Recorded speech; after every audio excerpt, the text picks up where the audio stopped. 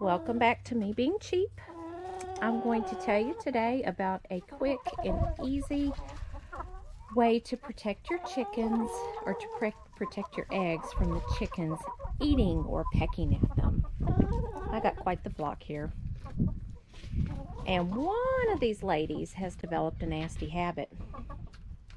Is it you or you? Anyway, I'm to walk around here and show you uh, what Michael made. Pretty quick and easy. All right, give me a minute. All right, so these are the boxes and we used to keep just, yes girl, I hear you. We used to keep just the wood chips in here and the birds would kick them out. And so we were constantly having to put them in there. The thing is, is that they will actually lay just on the plain wood. So let me show you what we made. And see, there's already two eggs in there. So let me take these, actually, let me show you on one that's not used. Okay, so this is just a piece of whatever type of wood you happen to have. I know wood's really expensive right now. And this is a paint tray. Just a cheap old metal paint tray from Walmart. And this is some indoor-outdoor carpeting. And Michael got this at Lowe's. He got a roll of it. Uh, we couldn't find a small roll, so we got plenty extra for a, another project. Anyhow, use some uh, Elmer spray adhesive. Glued this directly to the pan. Um, you know, if you needed to change it, you could just rip it out and put in some new or just shake this out. These birds are actually pretty good about not pooping in their box. And then behind here is some foam. Um, it actually came in one of our Amazon packages. We just recycled it and put some foam here for a cushion and then glued the um, indoor-outdoor carpet. So anyway, of course, it's a paint tray. It sets at an angle.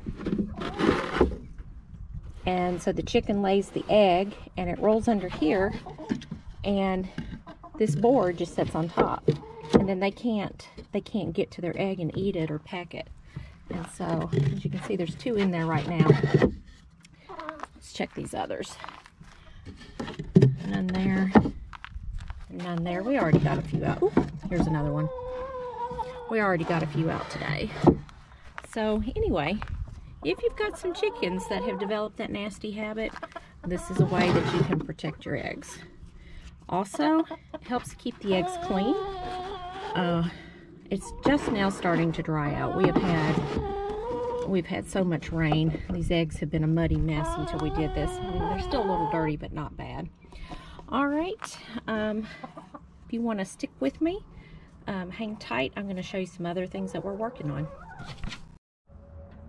It's a nice day. I just got done detailing the Suburban and Michael's changing the oil on it.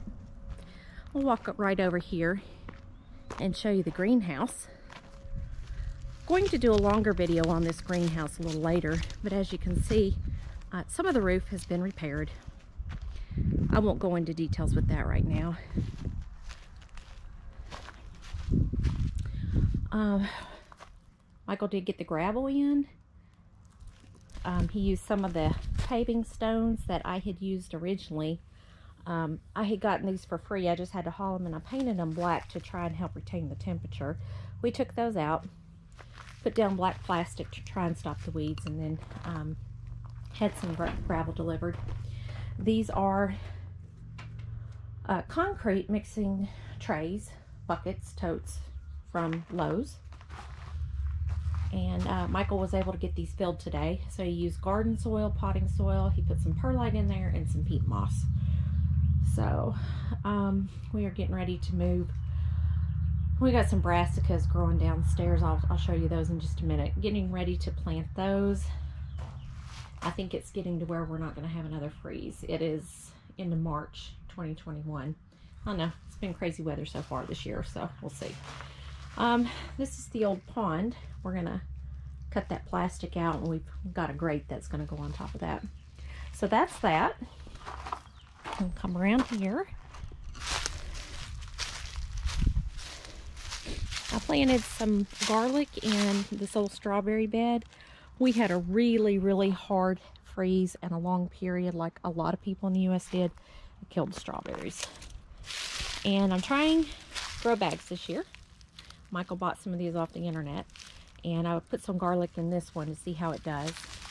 And then we haven't done anything with the big gardens yet. We did go out to the other garden that we tried last year and got all of it cleaned up. These are actually onions um, that overwintered. They didn't get killed by that cold snap or anything. So these guys didn't show up last year, um, but they're they're really growing this year. Maybe I get some onions. We have volunteer horseradish, and we had some volunteer lettuce. I don't know where it went.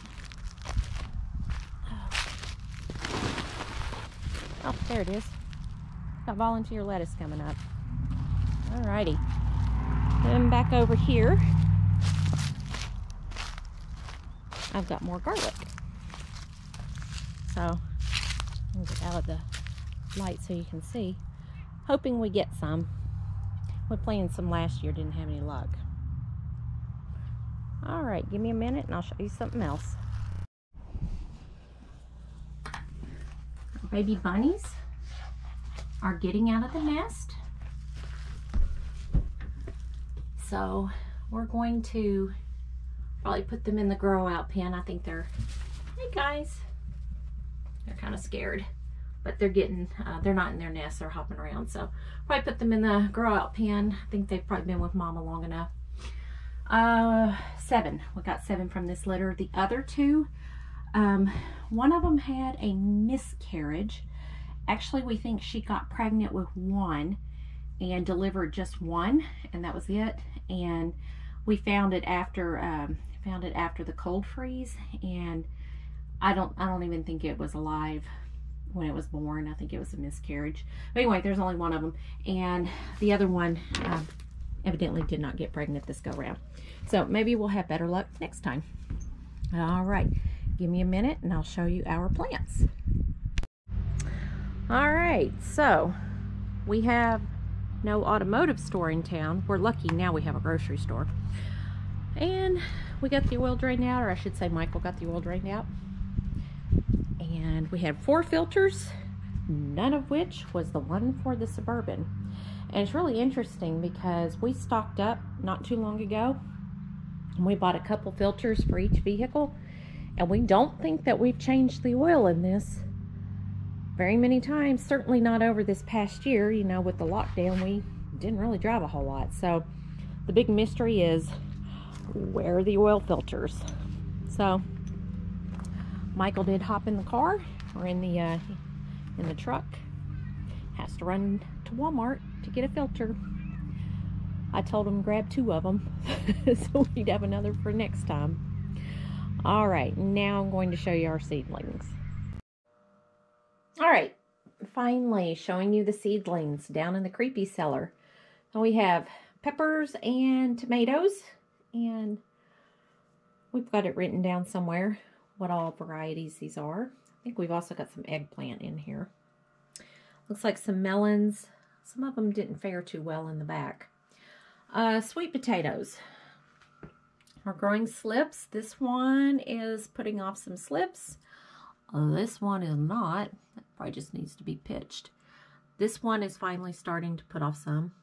And we were hoping that this leftover purple sweet potato here in the back would do it.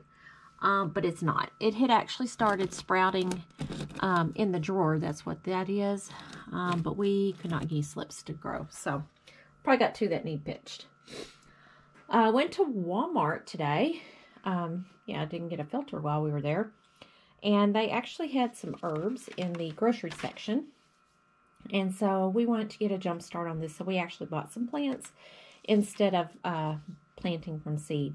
Now, I understand that mint, it's hard to grow from seed, but once you have it growing, I mean, I've had mint in the past. It just pretty much takes over. So we just got one little peppermint plant, a sage plant, and then two types of oregano, Italian and Greek.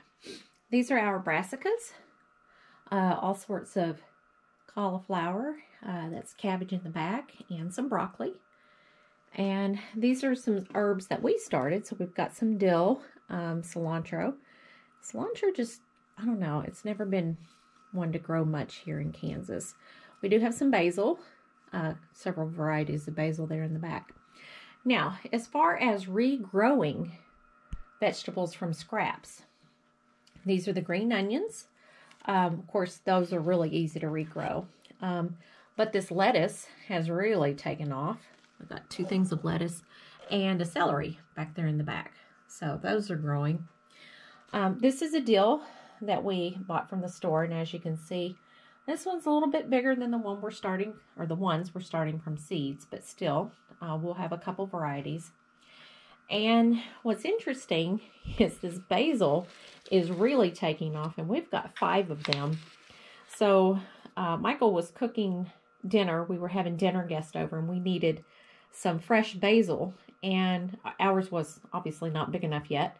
And what we had from last year had already died. So we bought uh, basil from the uh, from the grocery store, and it had roots on it. And so we used it, and we used almost the entire five plants, put the roots in there, and it has really taken off. So this was grown from uh, grocery store cuttings.